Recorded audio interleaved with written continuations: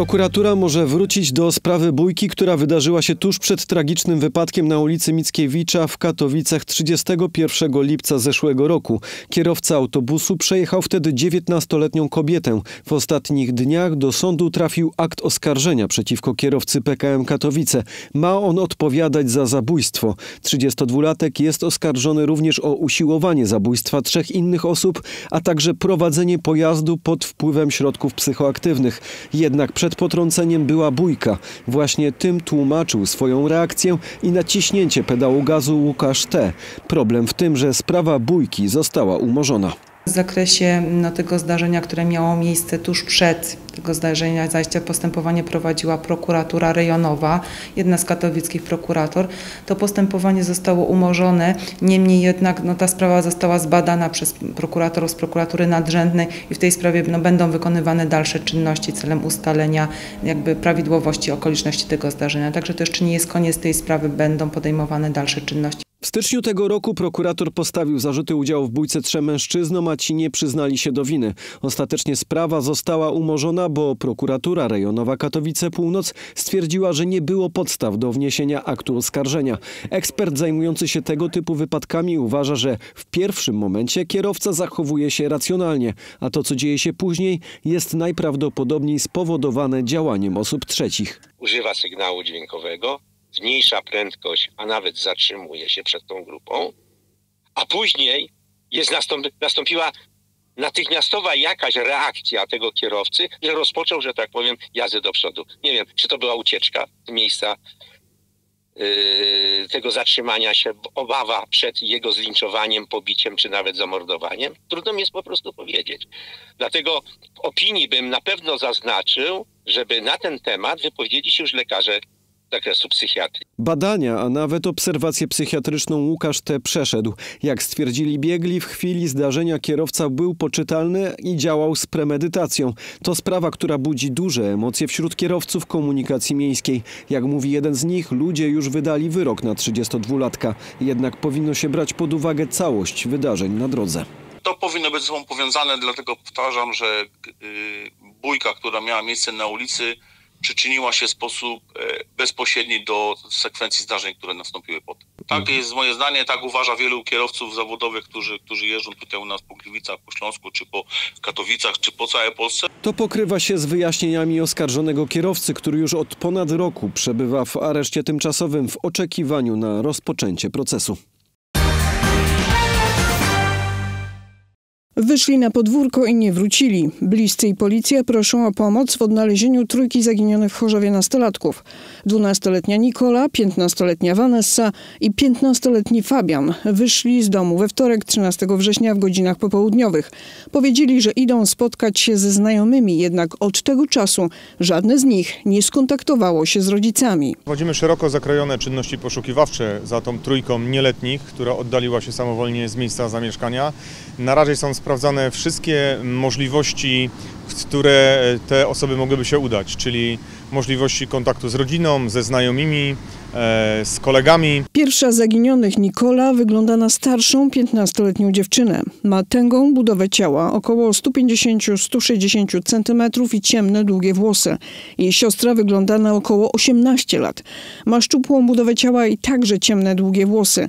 Kuzyn dziewczyn, 15-letni Fabian, to szczupły chłopak o wzroście około 160-170 cm i krótkich, ciemnych włosach. Całą trójkę nastolatków zarejestrowały kamery monitoringu w centrum miasta. Wiemy, że poruszały się e, wspólnie po terenie miasta Chorzowa, natomiast obecnie nie mamy ustalonego miejsca ich pobytu, nie wiemy gdzie są. Policja prosi osoby, które znają miejsce pobytu zaginionych lub ich widziały o kontakt z Wydziałem Kryminalnym Komendy Miejskiej w Chorzowie, dyżurnym Komendy Miejskiej w Chorzowie lub pod numerem alarmowym 112.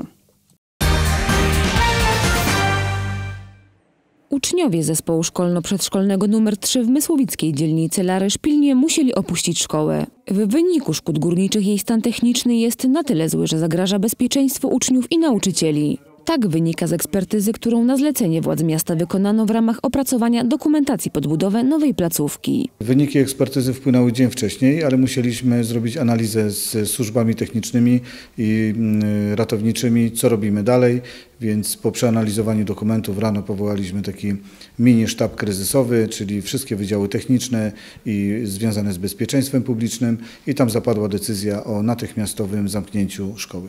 A ta prędzej czy później musiała nastąpić, ponieważ na zły stan techniczny placówki uwagę zwracano od kilkunastu lat. Z najnowszej ekspertyzy wynika, że pochylenie budynku w ostatnich tygodniach powiększyło się na tyle i powiększa sukcesywnie, że stanowi realne zagrożenie. Ponadto szkoła pomimo ogromnych starań kadry zarządzającej już dawno przestała spełniać warunki placówki na miarę XXI wieku. Brakowało na pewno sali gimnastycznej, brakowało porządnej stołówki. Kadra wspaniała, dzieci rewelacyjne, otoczenie jest e, też fantastyczne. Tutaj dzieci mogły spędzać długie przerwy w ciepłe dni e, w parku, bawić się.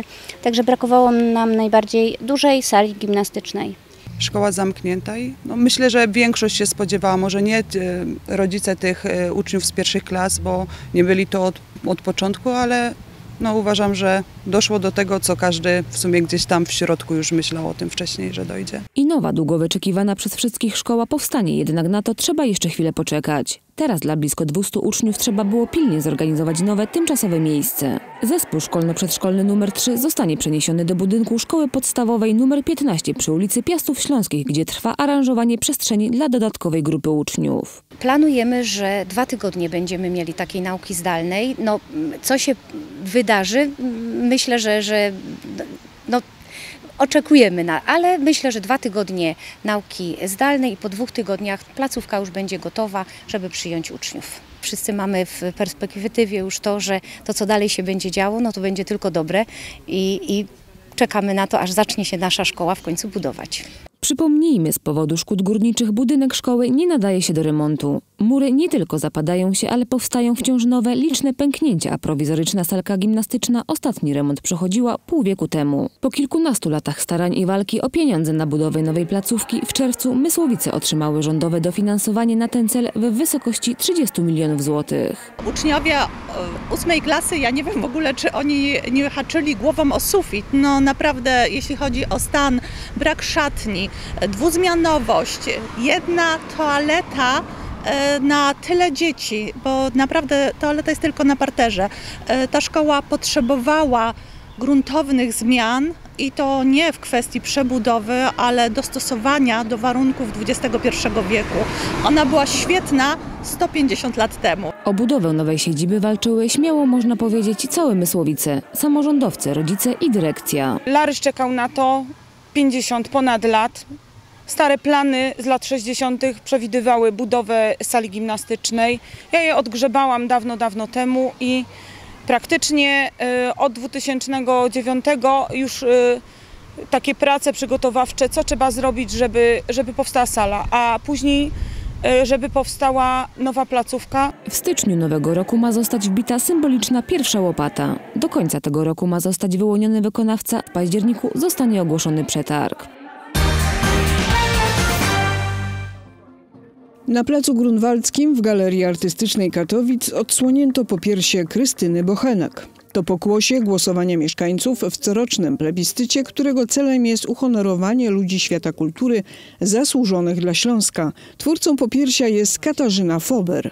Towarzyszy mi uczucie dużej dumy i szczęścia, że moja siostra, która była tak blisko y, y, mnie i całej naszej rodziny, została w taki znamienity sposób uhonorowana. Krystyna Bochenek była bardzo ważną osobą dla telewizji TVS to ona była inspiratorką powstania telewizji TVS.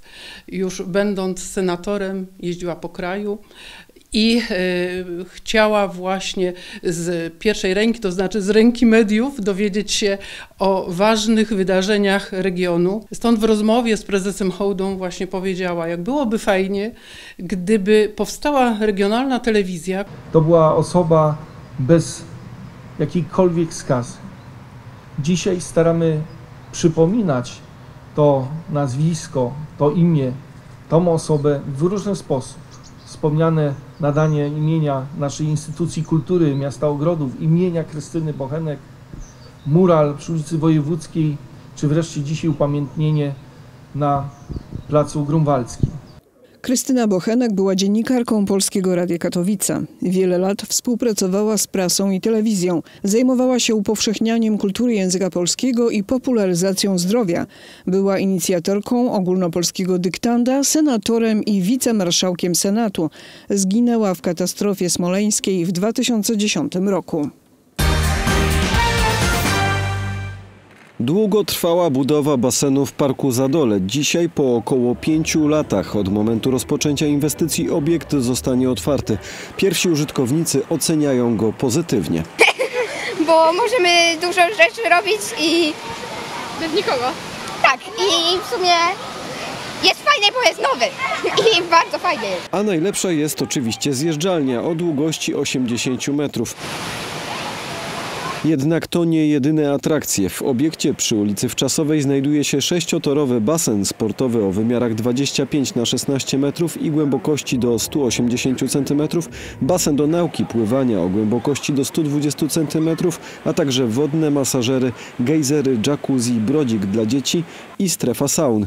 Realizacja tego obiektu trwała znacznie dłużej, choć zaczęła się mniej więcej w tym samym czasie, co budowa dwóch pozostałych basenów to, co obiecywałem w pierwszej mojej kadencji, ale doskonale pamiętamy, jak te losy się toczyły. Tutaj była zmiana e, wykonawcy, a więc ten czas realizacji ostatniego basenu się wydłużył. Ale to jest bardzo dobre, powiem dlaczego, ponieważ wiele różnych elementów wynikających później z eksploatacji basenu mogliśmy poprawić tutaj, więc to jest taki najbardziej doskonały obiekt z wszystkich, które do tej pory zrealizowaliśmy. Po wycofaniu się pierwszej firmy inwestycja na wiele miesięcy stanęła w miejscu. Miasto musiało znaleźć drugiego wykonawcę. W październiku 2020 roku przejęliśmy plac budowy. W ciągu dwóch lat ten obiekt udało się dokończyć. No były rozpoczęte prace jakby ziemne, część prac jakby żelbetowych, e, no i praktycznie rzecz biorąc jakby tyle. Nowy obiekt nie różni się w większym stopniu od pozostałych dwóch wybudowanych w Burowcu i Brynowie. Podobnie jak w tym pierwszym znalazła się tu hala sportowa do gier zespołowych. Jednak w przypadku basenu Zadole będzie jeszcze gabinet do rehabilitacji i fizjoterapii, który niebawem ma zacząć działać. Poza tym są też ulepszenia, których nie ma w tamtych basenach. Obiekt staje się bardziej funkcjonalny, bardziej przyjazny nie tylko nam jako pracownikom, ale także przede wszystkim użytkownikom.